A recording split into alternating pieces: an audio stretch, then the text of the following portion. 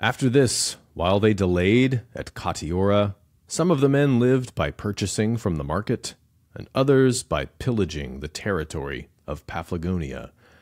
The Paphlagonians, however, were extremely clever in kidnapping the stragglers, and at night they tried to inflict harm upon such of the Greeks as were quartered at some distance from the rest.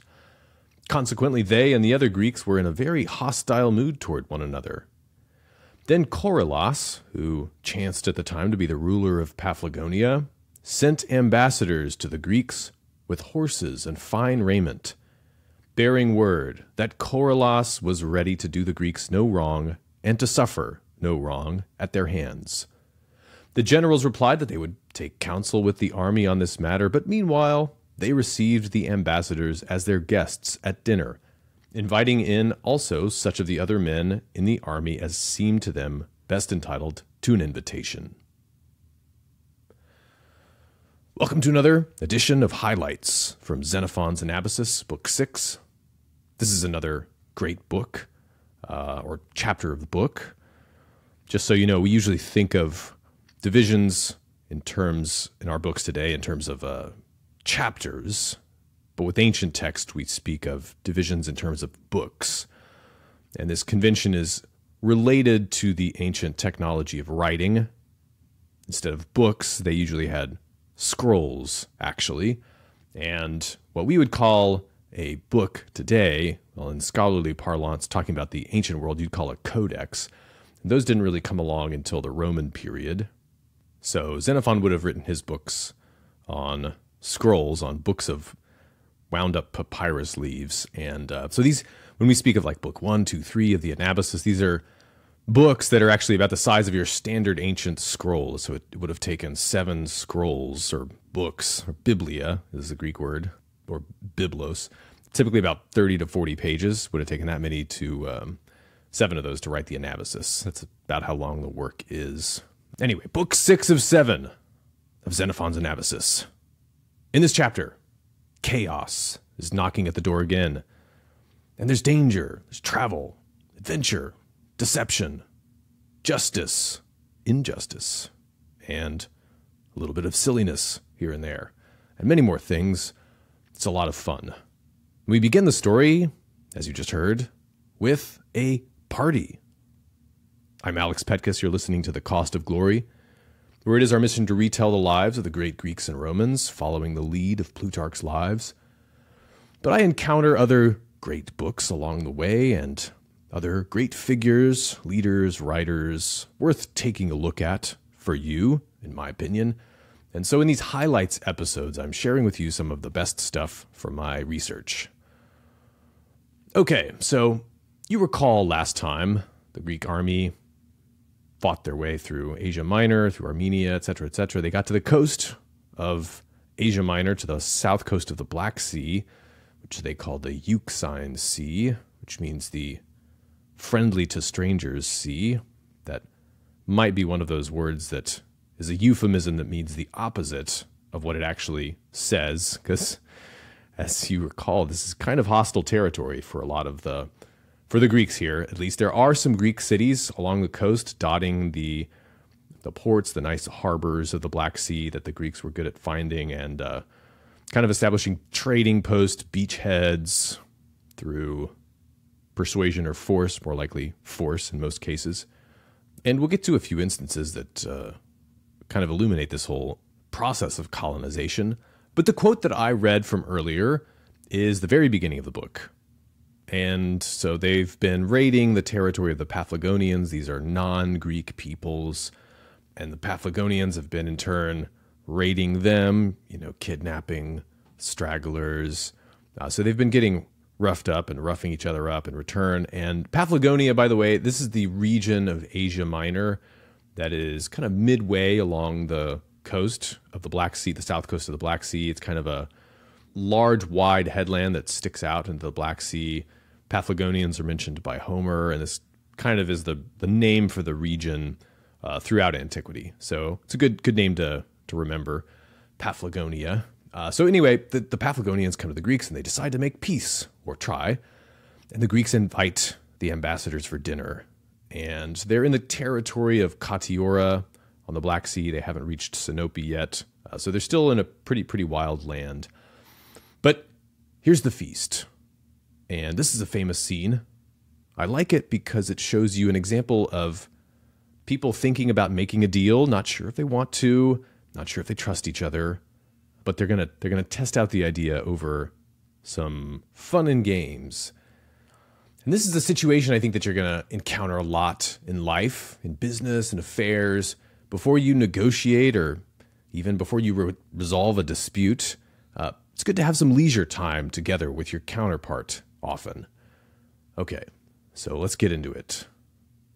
By sacrificing some of the cattle, I'm reading now, and also other animals, they provided an adequate feast, and they dined, reclining on straw mats, then drank from cups made of horn which they found in the country. That's about the only enjoying the local fare scene that we're going to have here. But they, so they're drinking out of these horn cups like uh, like barbarian lords. After they had made libations and sang the paean, two Thracians rose up first. The Greeks uh, have Thracians in their army. These were brought in by Clearchus. Uh, so they're th- these are guys on their team. So two Thracians rose up first and began a dance in full armor to the music of a flute, leaping high and lightly and using their sabers. Finally, one struck the other. It seemed to everyone that the man had been mortally wounded, and he fell artfully. And the Paphlagonians cried out. They're fooled by this scene. Then the first man despoiled the other of his arms and marched off singing the Sitalkas, some Thracian hymn, while the other Thracians carried off the fallen dancer as though he were dead. In fact, he had not been hurt at all. After this, some of the Aenianians and Magnesians, Greeks, arose and danced under arms the so called Carpaia. The manner of the dance was this, and it kind of means fruity dance, or uh, I don't know, crop gathering dance. A man is sowing and driving a yoke of oxen, his arms laid at one side, and he turns about frequently as one in fear. A robber approaches, and soon as the sower sees him coming, he snatches up his arms, goes out to meet him, and fights with him to save his oxen. The two men do all this in rhythm to the music of the flute. Finally, the robber binds the man and drives off the oxen, or sometimes the master of the oxen binds the robber, and then he yokes him alongside his oxen, his hands tied behind him, and drives off. So you you kind of get the sense here that uh, Xenophon has seen this one a few times. Uh, moving on here just a little bit more. After this, a Mysian came in carrying a light shield in each hand, and at one moment in his dance, he would go through a pantomime as though two men were arrayed against him Again, he would use his shields as though against one antagonist, and he would again swirl around and throw somersaults while holding the shields in his hands, so that he seemed to offer a fine spectacle. Lastly, he danced the Persian dance, clashing his shields together and crouching down and then rising up again. All this he did, keeping time to the music of the flute. Wouldn't you have loved to be at this scene? Okay, just a little bit more here. After him, the Mantineans came forward, and some of the other Arcadians arose, arrayed in their finest arms and accoutrements that they could command, and marched in time to the accompaniment of a martial rhythm, played on the flute, and sang the paean and danced, just as the Arcadians do in their festal processions, their festal processions, in honor of the gods. And the Paphlagonians, these are their guests, as they looked on, thought it most strange that all the dances were under arms. They have all their uh, war gear on during these dances. Thereupon, one Mysian, seeing how astounded they were, persuaded one of the Arcadians who had a dancing girl to let him bring her in, after dressing her up in the finest way he could and giving her a light shield and she danced the Pyrrhic with grace. That's a war dance from Sparta.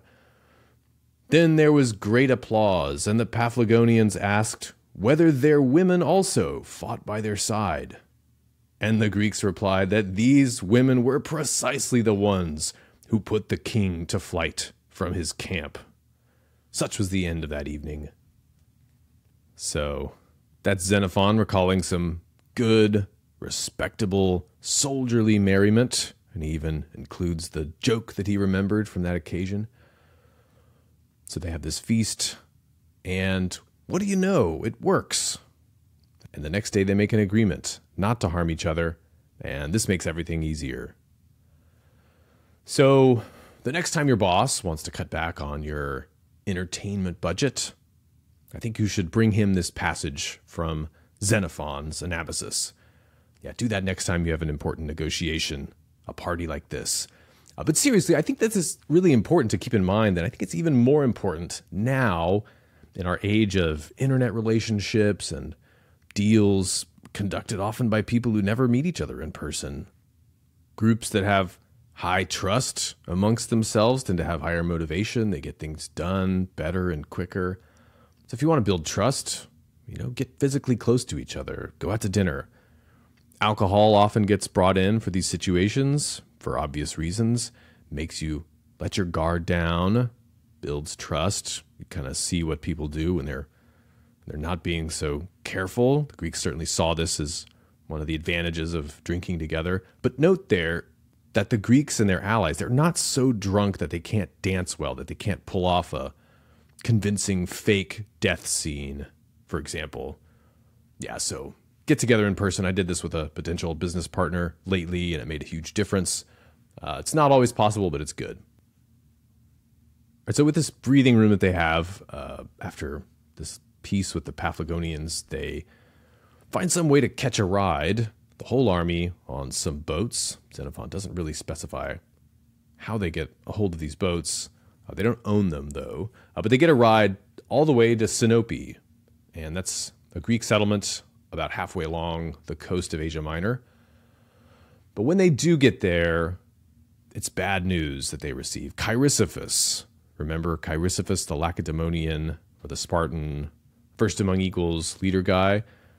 Well, he went off last book to try to get some help from his friend the Navarch, Anaxibius of Sparta. He's waiting for them there at Sinope, and he brings the news that there are no ships coming from the Spartans. But Anaxibius, the Navarch, said if the army can make its way out of the Euxine, out of the friendly to strangers sea, out of the Black Sea, Anaxibius may be able to find work for them.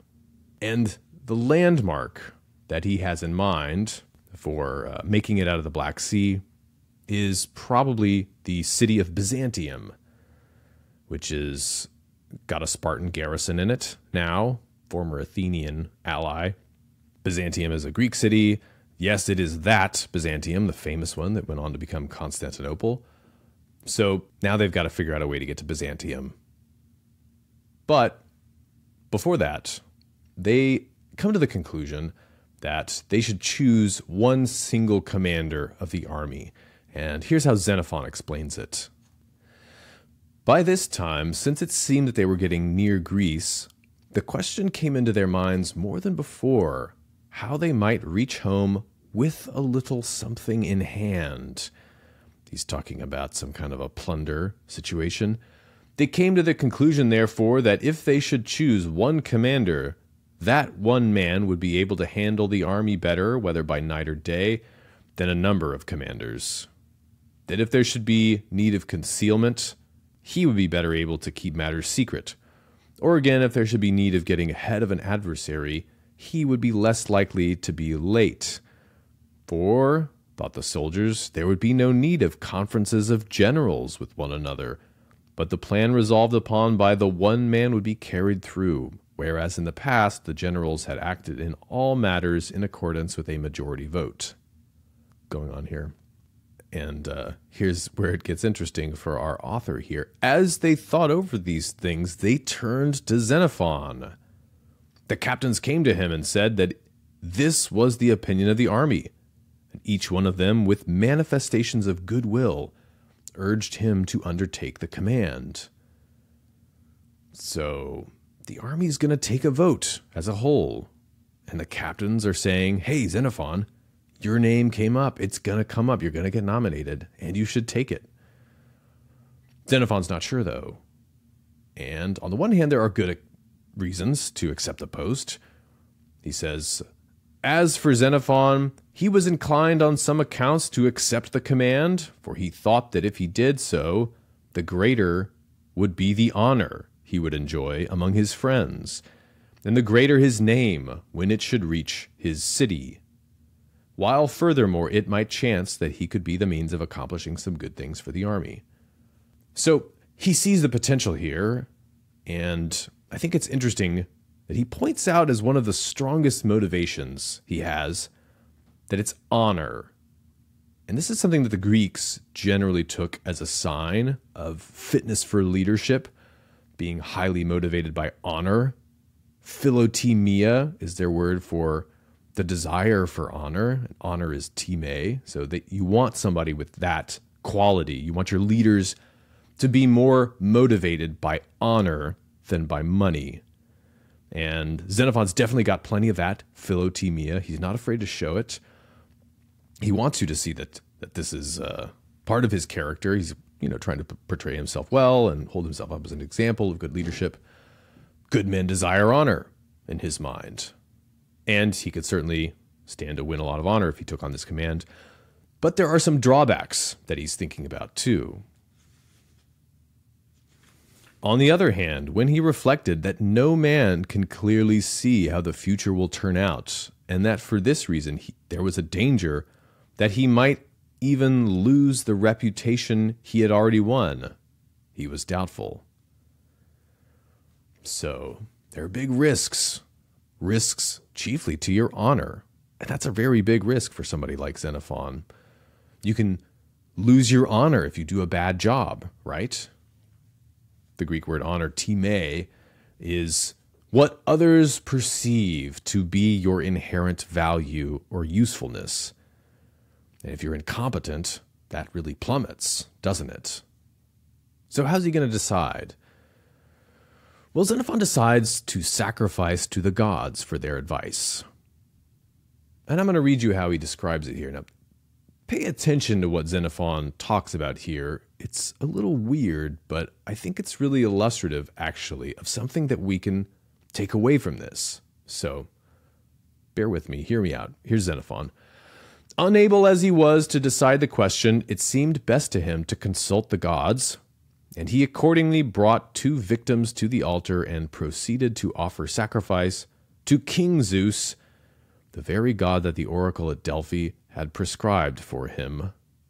And it was likewise from this God, as he believed, and we told that story in book three, I believe. And it was likewise from this God, as he believed, that the dream came, which he had at the time when he took the first steps towards assuming a share in the charge of the army. This is the dream he had the day after they lost Cyrus with the lightning on the house of his father and so on.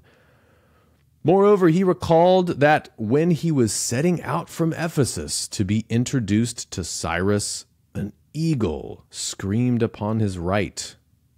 It was sitting, however, and the soothsayer who was conducting him said that while the omen was one suited to the great rather than to an ordinary person, and while it betokened glory, it nevertheless portended suffering.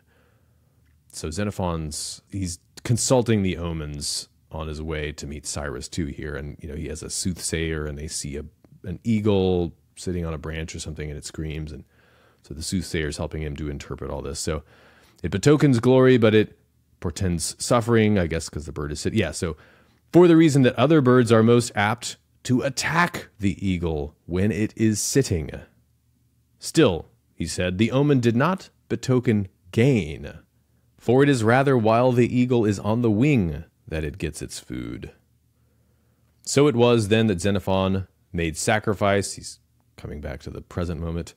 So Xenophon sacrifices, and the god signified to him about this command he's thinking of taking up quite clearly that he should neither strive for the command nor accept it in case he should be chosen. Such was the issue of this matter. So he sacrifices. And sacrificing will mean something here like killing an animal ritually at an altar and then inspecting the entrails and also looking around for signs around you, probably from a bird. And uh, one take on sacrifice as a decision making procedure is that it's a way to open yourself up to suggestions from intuition, to pay closer attention to nature, to take a step back and peer deeper into the mysteries of life, even. Right? You're killing an animal, you're cutting it open, and seeing how it all works in a way. There's a kind of an element of wonder there. This life that was just alive and existing, and now it's dead, and you're kind of looking at that fact. And often the gods speak to you through things like the size and the shape of the liver. Does the liver have lobes on it? But you know, you're taking a life, you're dealing with a freshly dead creature like this, and there's something pretty visceral about that, don't you think? And you're also looking at the the the animals around you. You're trying to see the quaking of the leaves and which way are the birds flying. You're getting really quiet. You're connecting with nature in a deep instinctive way. And you're also connecting with deeper feelings within yourself deeper than the chatter that's going on in your own head that is always billing itself as your rational mind. So, whether the gods actually speak to you or not, you're speaking with yourself, for sure, in a kind of a deep way. And from a Greek perspective, well, it could be both and, right? You know, the gods could be talking to you through your own kind of self perception. And uh, today, I think people might say, I prayed about it and God told me, and so on. Yes, that's good too.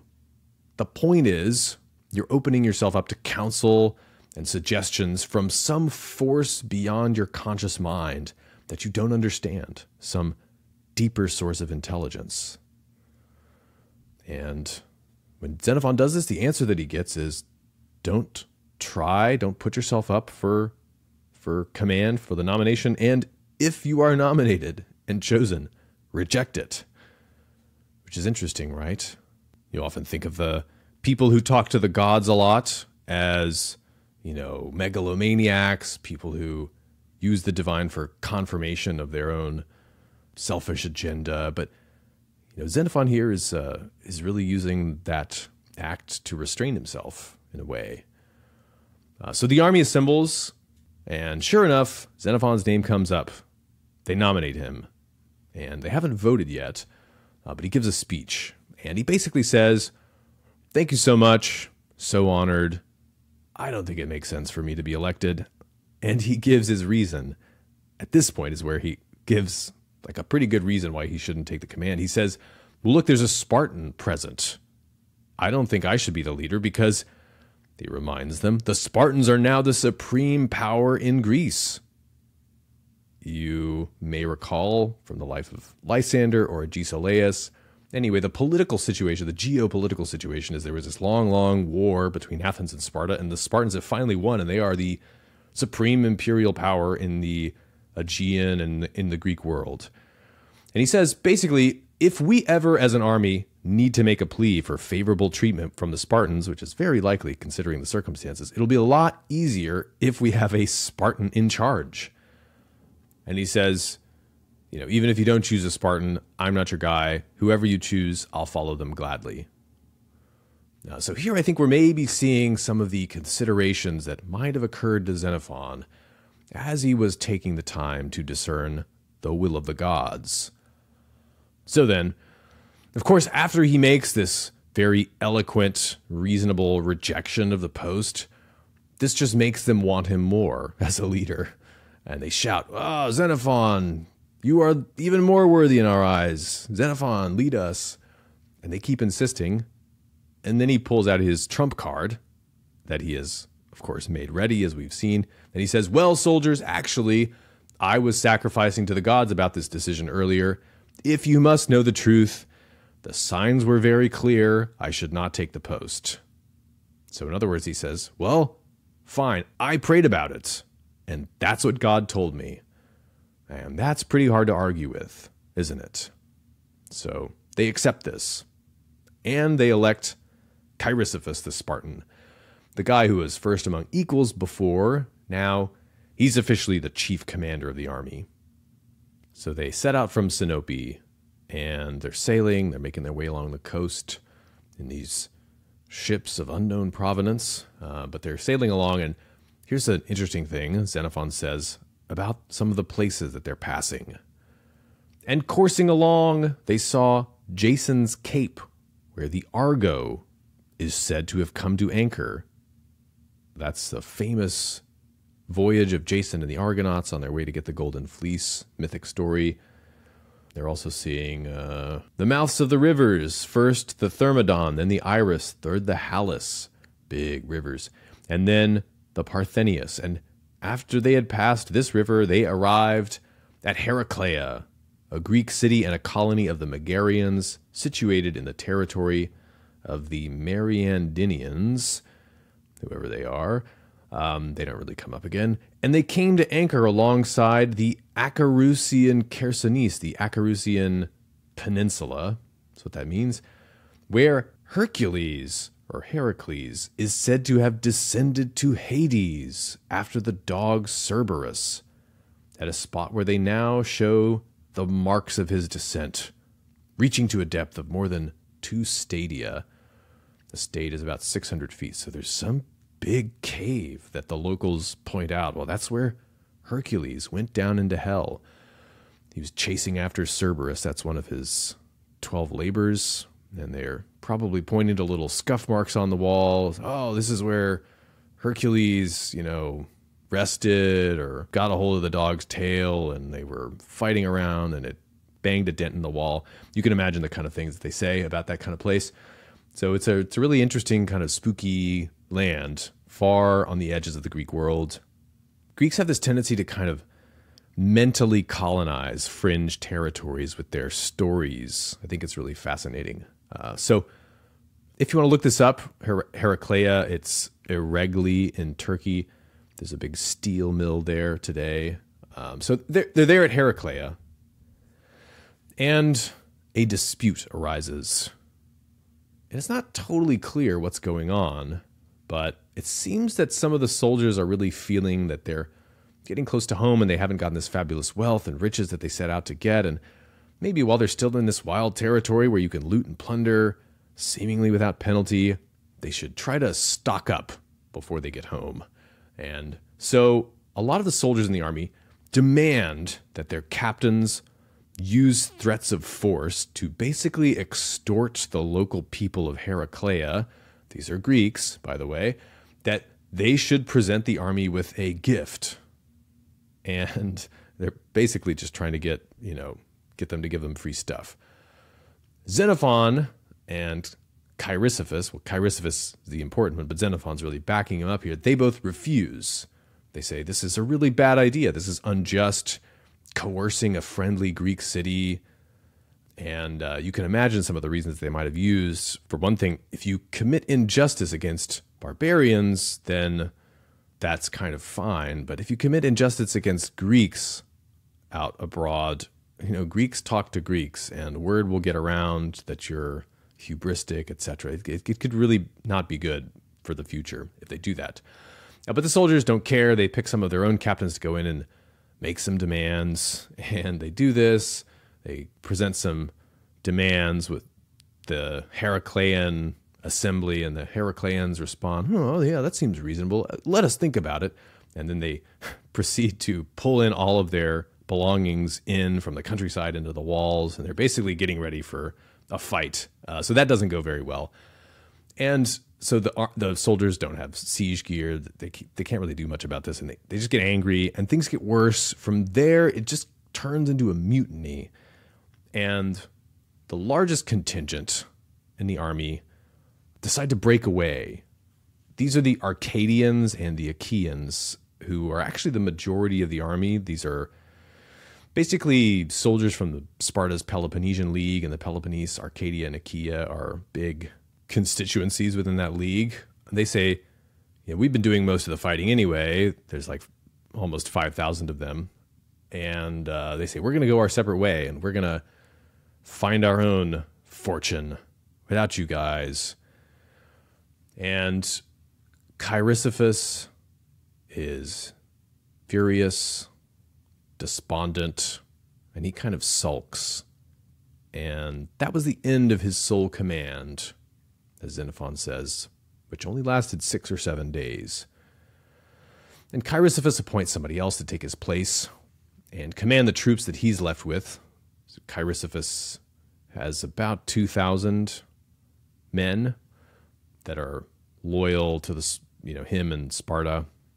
And Xenophon is actually left in charge of the other third fragment of the army, about 1,400 men, probably what's left from Proxenus's Boeotians and whatever else. And Xenophon here, before he, he takes up the command, though, he, he realizes I could just leave. This is kind of annoying. I have enough money now to buy my way back to Greece. I can put this all behind me. Why am I even staying? And he thinks about it and he decides to sacrifice to the gods for some advice. And he sacrifices to Hercules the leader, Heracles the leader. And the, the god tells him, No, you got to stay and see this through.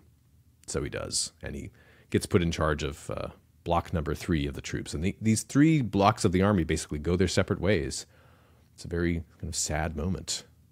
But the Arcadians and the Achaeans were pretty lucky that Xenophon stayed on, because soon they go off inland on their own and they get to plundering and they get in trouble, deep trouble with the local Thracians, and a lot of them get killed and they get surrounded and sieged on a hill.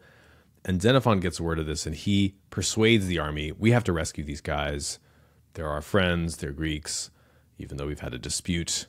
And I'm going to skip a lot of this episode. It's fun and it's interesting, uh, but it's mainly just a lot of fighting. There's one cool trick that Xenophon uses. So they're surrounded, the Arcadians and the Achaeans are surrounded on this hill by these Thracians, and night falls, and Xenophon and his troops come to the vicinity and they spread out and light a bunch of fires. And then at the signal, they extinguish all of their fires. And then they just go to sleep for the night. And they wake up the next morning and they go up to the mountain and everybody's gone. And then they make their way back to the coast. They basically track the Greek army and uh, they catch the Arcadians and the Achaeans and uh, they realize what has happened. Basically, the Thracians interpreted the fires as a, a large army spread out, and then the extinguishing of the fires as a sign that the Greeks were getting ready to make a night raid. And so they just ran away. So Xenophon, this was kind of his trick to uh, to see if he could spook the Thracians, as he explains, and it worked. So they link up and they say sorry to each other, and it's a very happy moment. They greet each other like brothers. They take back all the nasty things that they said about Xenophon, which they did, and they make their way back to the sea, meet up with the Spartans under Cheirisophus. And they all swear oaths not to break up the army again, and if anybody proposes such an idea, to put him to death. So essentially, Xenophon's been trying to keep this chaos at bay. The, the, the leaders have been trying to keep this chaos and disorder uh, at bay, and they've just had their case made by this disastrous splitting up of the fellowship, uh, people going off on their own and not being able to handle themselves. And so the place that they end up reuniting the army is called Calpe. It's a nice spot. There's a harbor there, but there's not a city there. There's no settlement. Uh, it's nice though. It's got figs and grapes and nice wine and wheat and beans. And at this point, the rumor of a potential city founding comes up again. And here's what Xenophon says. And I think this passage is interesting because it shows you a sense of who these men are and why they came. You know, who joins a startup? Who signs up for a great adventure or a quest? We often think of mercenaries in negative terms in our day and age. But here's what Xenophon says about these men The men took up quarters on the beach by the sea, refusing to encamp on the spot which might become a city. Indeed, the fact of their coming to this place at all seemed to them the result of scheming on the part of some people who wished to found a city. For most of the soldiers had sailed away from Greece to undertake this service for pay, not because their means were scanty, but because they knew by report of the noble character of Cyrus. Some brought other men with them. Some had even spent money of their own on the enterprise, while still another class had abandoned fathers and mothers or had left children behind with the idea of getting money to bring back to them. All because they heard that the other people who served with Cyrus enjoyed abundant good fortune. Being men of this sort, therefore, they longed to return in safety to Greece. End quote. Uh, so you remember last episode, Xenophon was getting accused of wanting to found a city. And indeed, he thought it might be a good idea, but he wasn't going to try to do anything that went against the wishes of the army. Um, he had to defend himself for that. But once again, people aren't totally convinced that he's gotten the city founding bug out of his system, or maybe other people as well were interested in this idea. Uh, but they don't want to get stuck here. And so they decide we're not even going to camp in the nicest part because that just is one step on a slippery slope towards founding a city.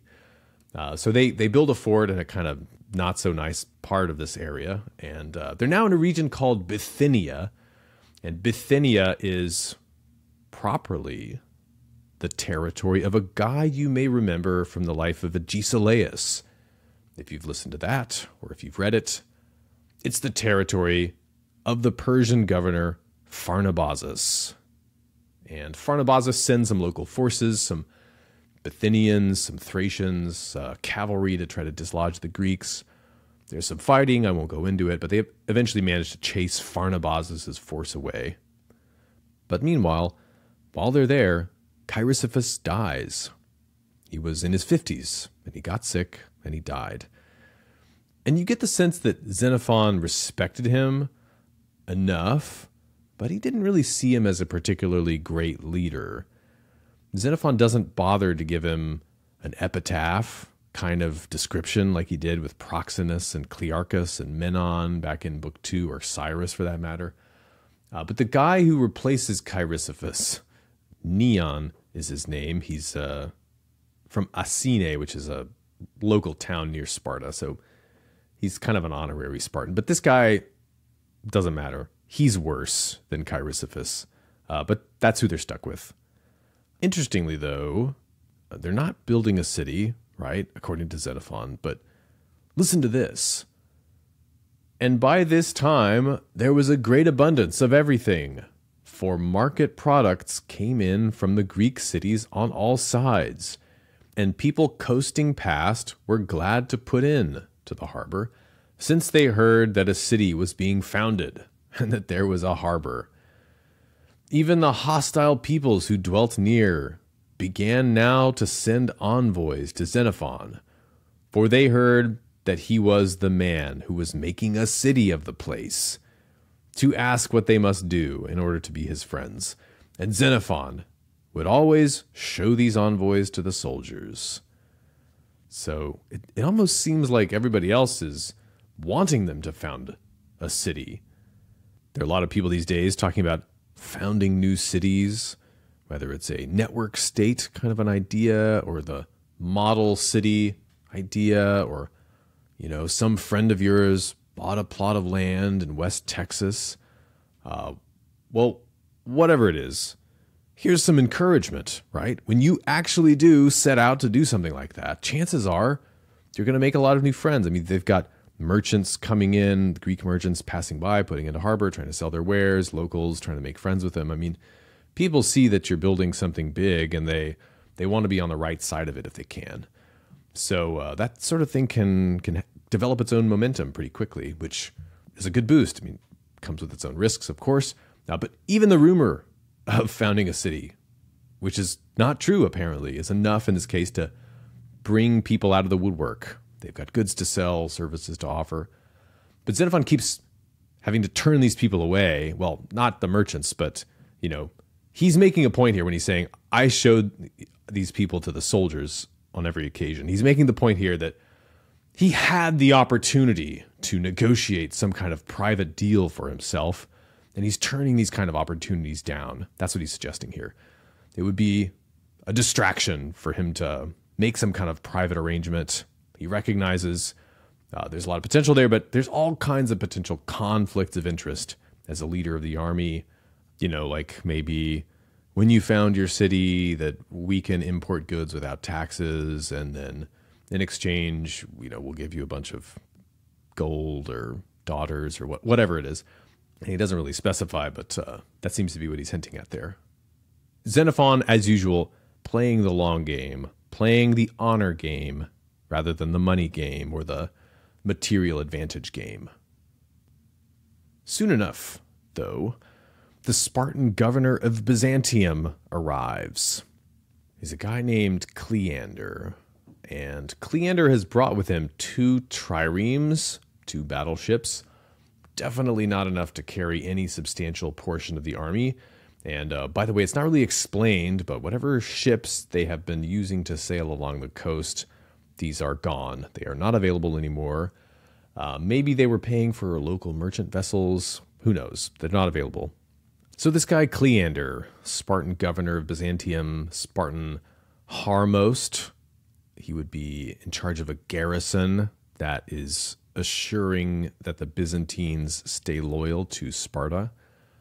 That would be his job. Uh, and he's the sort of guy that gets probably changed out on a regular basis, on an annual basis, maybe. Uh, but anyway, he's in charge now, and he's come. Not really clear what his intentions are. Maybe he's hoping that he can recruit this army to solve a problem locally for himself.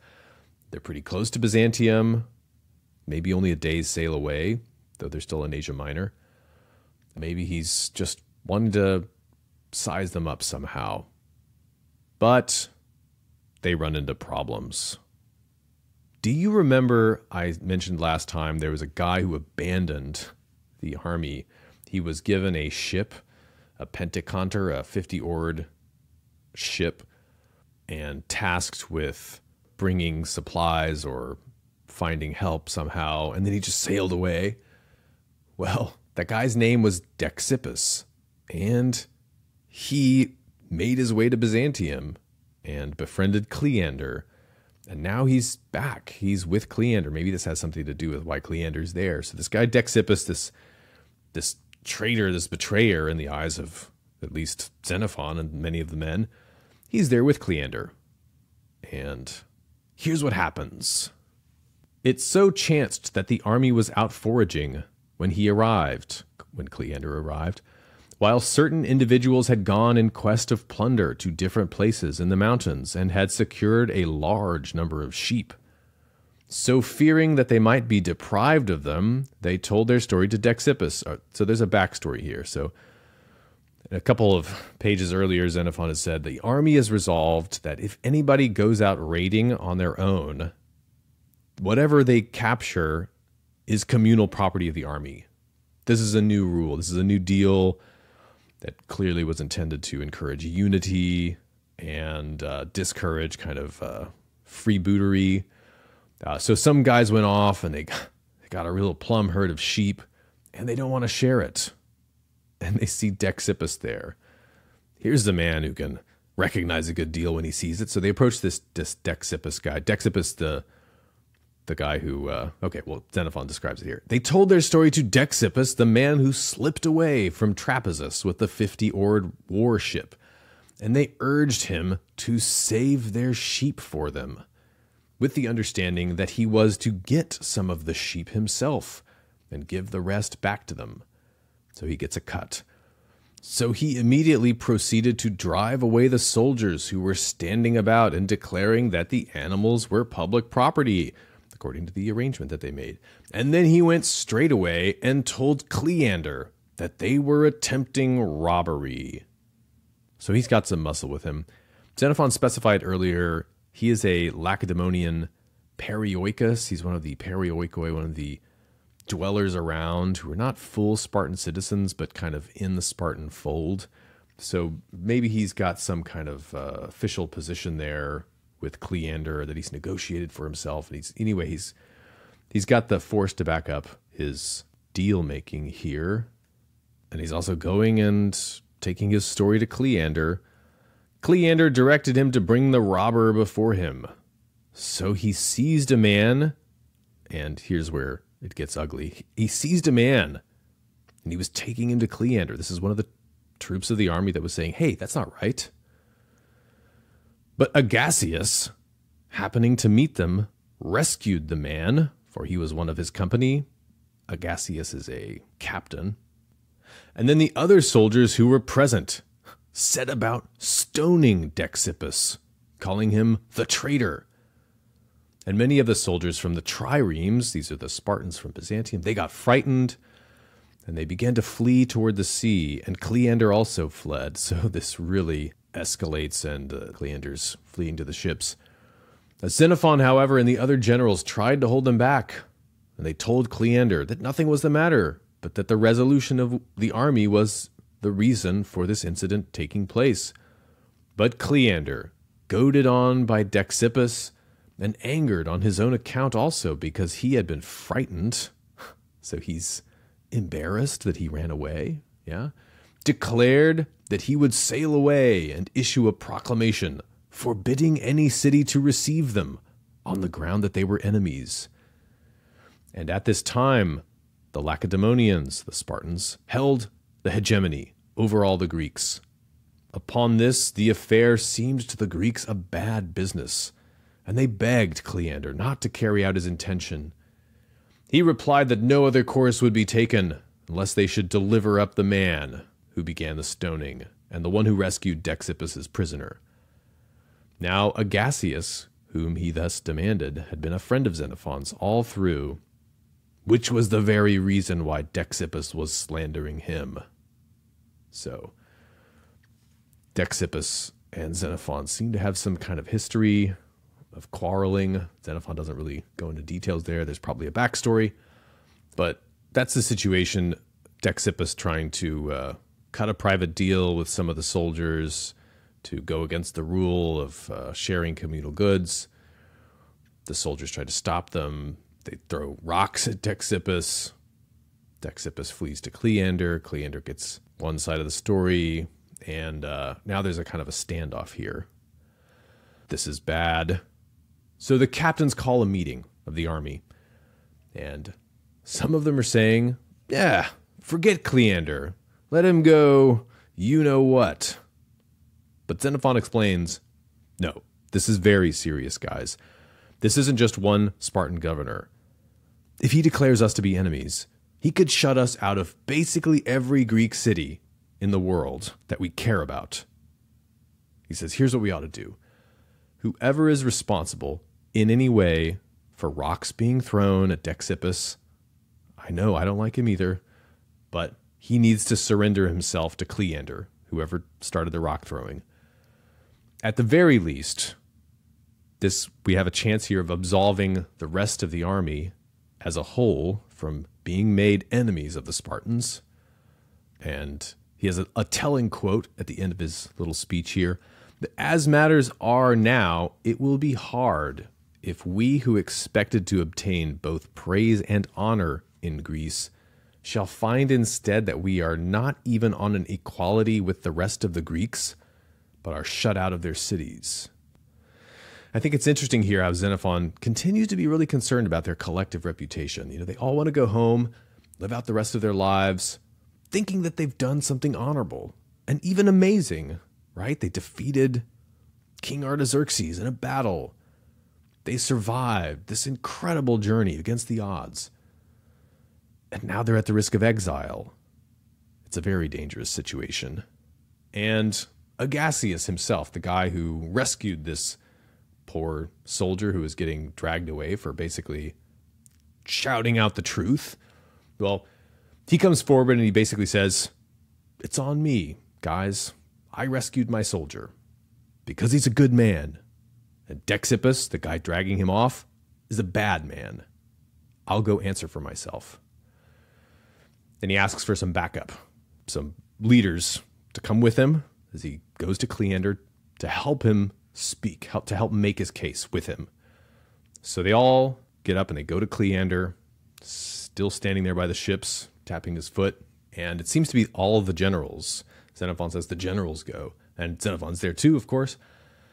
And Cleander, now, he was just about ready to sail away, declare them all enemies. Uh, but this this gesture that they make is, is disarming.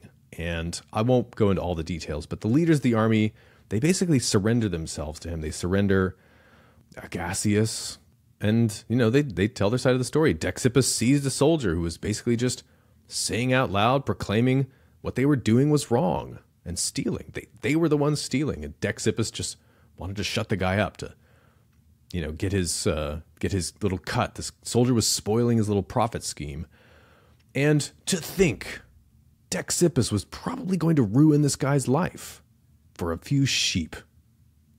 And then they explain what Dexippus did earlier, sailing away. They gave him this Penteconter, this this fifty oared ship, and he just abandoned them.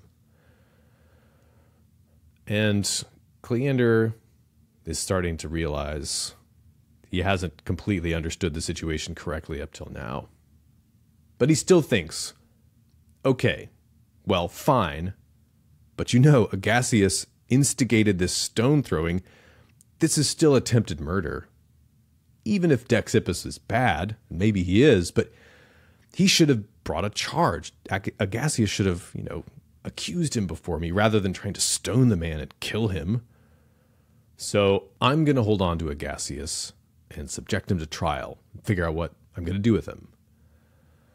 And the generals and Agasius, they all agree that's fair. Hold on to Agasius. Hold on to our accused soldiers. They, I guess they have another couple of soldiers there with him. One of the the guy who is actually making the uh, the initial proclamation against Dexippus that led to the whole incident. He's there with them. Um, so I think this is really interesting because the jurisdiction here is really foggy, right? Like, why should this Spartan be the judge of what's going on, of what's right and wrong here, rather than the Greeks of the army? They've got a bigger army and a camp, and they're much more sovereign in this square of territory than the Spartan. But the Greeks are, of course, realizing that in the broader scheme of things, we really need to recognize, recognize this man's authority as a Spartan, as a representative of the empire that's in power right now. So anyway, they, they walk away, they, they acquiesce, right? They lay poor Agasius at the at the hands of Cleander to do what he will. And so they recognize Cleander the Spartan's got the final say, by walking away. This is a really important gesture. This is an important statement of deference. But then Xenophon and the generals go back and they tell the soldiers, okay, let's not actually let this get to trial if we can avoid it. Let's go back. And now that we've really entrusted Agasius to, De- to Cleander, let's go beg for mercy. And so the generals, so Xenophon gets a few more uh, character witnesses. They bring along a fellow Spartan, actually, one of the captains or something, for some added social proof. And they go back and they make an embassy on behalf of Agasius and the other soldiers. Xenophon, of course, is doing the talking now. And he says to Cleander, You have the men, Cleander, and the army has bid you to do what you pleased, both with these men and with their entire body. So he's saying, you know, not just them, the whole army is really at your mercy. You know, our fate is in your hands. But now they beg and entreat you to give them the two men. I guess it's two men. Agasius and the other guy. Give them the two men and not to put them to death. For many are the labors these two have performed for the army in the past should they obtain this favor at your hands, they promise you in return that if you wish to be their leader, and if the gods are propitious, they will show you not only that they are orderly, but that they are able, with the help of the gods, while yielding obedience to their commander, to feel no fear of the enemy. Notice what he does there. You're the one with the power. There's a there's a sign of deference there, sign of friendliness. Then he establishes these guys deserve a good turn. They've they've fought with us. They're very special to us. They're good men. They deserve mercy. So it's kind of an appeal on the basis of justice in a way. And uh, they've certainly made the case that Dexippus is a bad man and that uh, that justice is really on the side of Agasius and, and the, the Greeks of the army.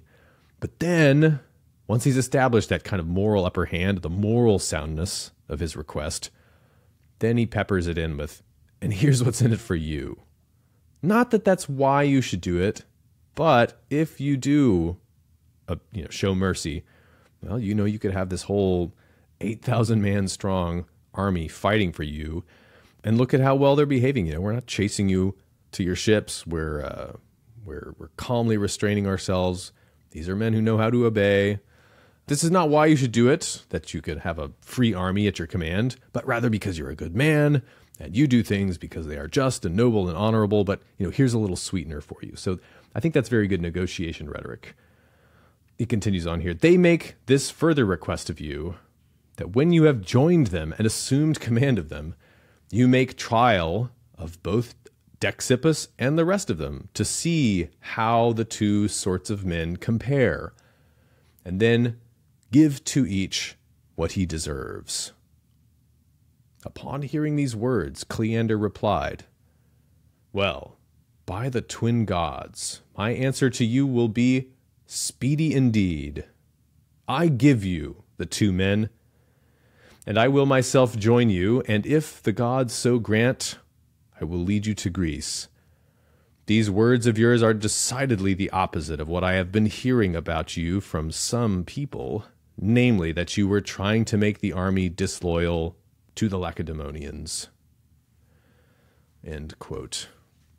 And I think at the end here, Xenophon is hinting that this Dexippus guy is the very one that's been making all these nasty claims, both about the army and about Xenophon in particular, all along.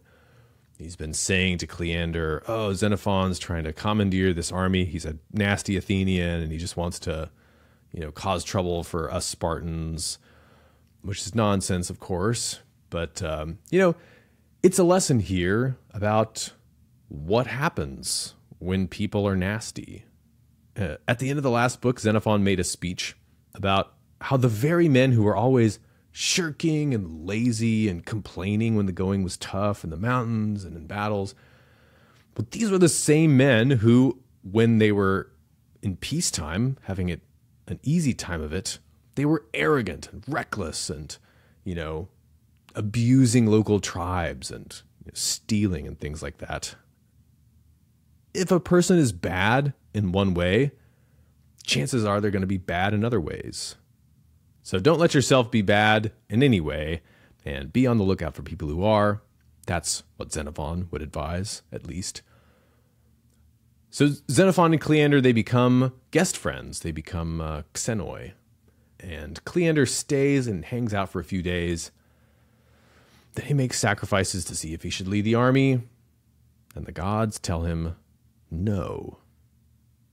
He may have been wanting to avoid a conflict with Pharnabazus, the Persian satrap, the Persian governor here. Byzantium is right across the straits from Asia Minor, right across the Bosporus, that is, from Pharnabazus' territory. Makes a lot of sense to try to avoid provoking the Persians if he doesn't have to. So maybe that's what the gods were trying to tell him when he sacrificed. But he says he'll be happy to help the army out in any other way that he can. And so they leave on good terms. The army offers him the whole flock of sheep that was in dispute, and he accepts the sheep and then he gives them back.